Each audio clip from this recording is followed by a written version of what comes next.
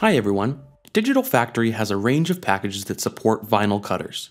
For these packages, we've developed features that allow users to create, edit, or delete contour cut lines. Contour cuts can be applied in several ways. Automatically when files are imported, through the Add Contour Cut menu selection, added while in the variable data wizard, and finally in the Contour Cut dialog. In this video, we will explain how to use the Add Contour Cut feature, as well as setting up an automated contour cutting workflow. Digital Factory can generate contour cut lines automatically if the files are vector-based, like AI, EPS, or PDF, or image files that support transparency, such as PSD, TIFF, and PNG. The cut lines are generated on the opacity of the graphics. We create the cut lines around solid areas regardless of color. JPEG files cannot be used for automated contour cutting because they do not support transparency. To apply a contour cut line, you would need to use our plugin for removing the white background. Please have a look at our additional videos for general contour cutting and contour cutting in our variable data wizard. Our first example is a PNG file which has a white contour around the design to which we want to add a contour cut line. In this case, we want to use add contour, which creates contour cut lines on a job by job basis. First, we need to establish the settings Digital Factory will use when it applies a contour cut line. With the print and cut queue selected, go to the queue menu and select Properties. You can also double click on the queue tab. The queue properties dialog will open and you will select contour cut from the cutter section in the left column. The contour cut settings will appear on the right. At the top, ensure the Apply to all incoming jobs option is unticked. The contour cut settings found here are nearly the same as in the other contour cut dialogs found in Digital Factory. Here, you can choose which cutting process you will use using the drop-down menu, including Cut Path, Contour Cut, Contour, Half Cut, perf cut contour, flex cut, and pounce. You can select the option also cut inner contours, which will cut the holes defined by white space within a design. Set an offset of the contour cut line from the artwork and define a corner style choosing from point, round, and miter.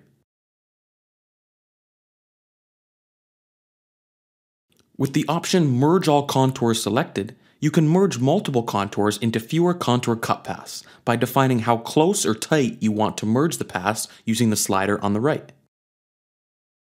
For a more in-depth description of this feature, please view the video Advanced Features of Contour Cutting in the Variable Data Wizard. Adjust settings for soft edge contour cuts using the slider, which is the same as the monochrome filter found in the alternative contour dialogs in the Digital Factory family of products. Define the contour accuracy by clicking the button to the right of the Contour Accuracy Options pull-down menu, found at the bottom. A dialog opens where you can define how close you want to follow the transparency by adjusting settings for how tightly or loosely to match lines, as well as how sharp corners should be. Additionally, there are options to filter out noise with the speckle filter, angle allowance to snap long lines to vertical and horizontal, and lastly, small shape accuracy, which allows you to ignore anomalies in the art. For the sticker used in this example, untick Apply to all incoming jobs and choose Cut Contour. Set the offset amount to 0 millimeters, set the corner style to round, and use 245 for the soft edge value. Press OK. With the sticker imported, right-click on the job in the queue. Select Contour Cut from the menu and click Add. The contour cut line is added to the graphic without dialogues popping up. The contour cut settings previously set in the queue properties are used in the creation of the contour cut line.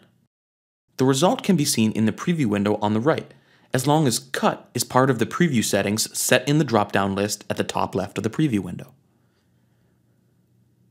We have a series of stickers to which we want to apply contour cut lines. The stickers already have a white contour, and we want to create a cut line around the white area. In this situation, we want to use the automated contour cut on import. Go back to the contour cut settings in the queue properties we previously reviewed and tick Apply to all incoming jobs. Leave the other settings as they are. While remaining in the queue properties, click on the Settings section and select Layout Manager.